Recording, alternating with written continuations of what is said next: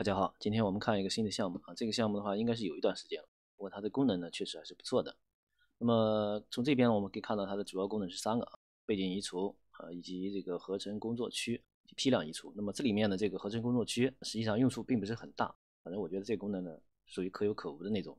那么这个背景移除以及这个批量移除呢，这两个功能挺不错的。它这个背景移除的功能呢，以及这个效果，可以说是我见过的这个同类型产品里面效果最好的一个，就甚至是这个 PS。那么它的移除效果呢，也比不上这个工具的这个移除效果好，所以这个单说这个背景移除的话，这个工具确实非常的不错啊，非常的可以。好，我们直接看项目。然后这边呢是我们这个今天的包，五点一六 G 不大，这个还是启动就行了啊。这个我们稍等一下。好，这样就启动完毕了。那么这边呢有一个地址，点一下打开啊，这个是它的使用界面啊，呃，都是中文的，没有什么太多可说的，咱们直接来做演示。然后呢，我们来找一个图像。比方这个图像啊，呃，它这个是快速移除啊，就是不需要你去做任何的操作，只要选中图像，那么这边就会自动开始运行。待会儿呢，我们跟这个 PS 这边的这个效果呢，咱们做一个对比，效果呢确实是非常的出色。好，然后我们再来换张图片，这一个啊，它这边有一点小问题，就是这个图像呢，它有时候会出不来，当然这个不影响最终结果啊。好，这样的，然后这个是它这个去除之后的。一个效果，大家看去除的非常漂亮。然后呢，我们拿这个来做一个对比，这个是咱们这个 PS。然后呢，这边点这个移除背景，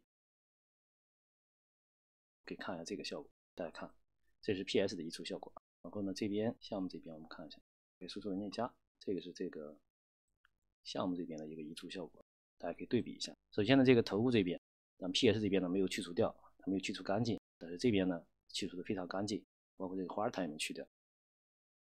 然后呢，这个下面我们放大一点，大家看这个地方，这个地方有一些残留的东西没有去掉，但是这边呢就去的非常干净。所以这个工具的这个只说这个移除背景的这个效果，确实是非常出色的。好，就这样。那么这个就是这个快速删除啊。这个下面呢还有一个图片链接，这玩意儿呢就不给大家试了，就是你在网上去找一张图片，然后呢直接把它的这个地址复制下来，然后贴到这，敲一下回车键。然后呢，就可以进行一个背景的去除，这个是更方便的一些操作。然后我们来看一下第二个功能，处理和替换。那么这边呢，需要去上传一个这个，我们还用这个吧。这边呢，需要传一个背景图像，你呢随便找一个，比如说这个图像。然后呢，这边它会自动运行，它全部是自动的。呃，它的意思就是把两个图片合到一起了。就这个功能很鸡肋啊，没什么太大用啊，大家看一眼就算了。这就是这个效果。下面这些呢，可以控制一些位置了。颜色、亮度等等之类啊，这个大家自己调吧。然后我们看最后一个功能，批处理啊。那么这个批处理是非常有用的，就是这个批量啊，去除背景。像这个，然后这个，再来选一个啊，这个，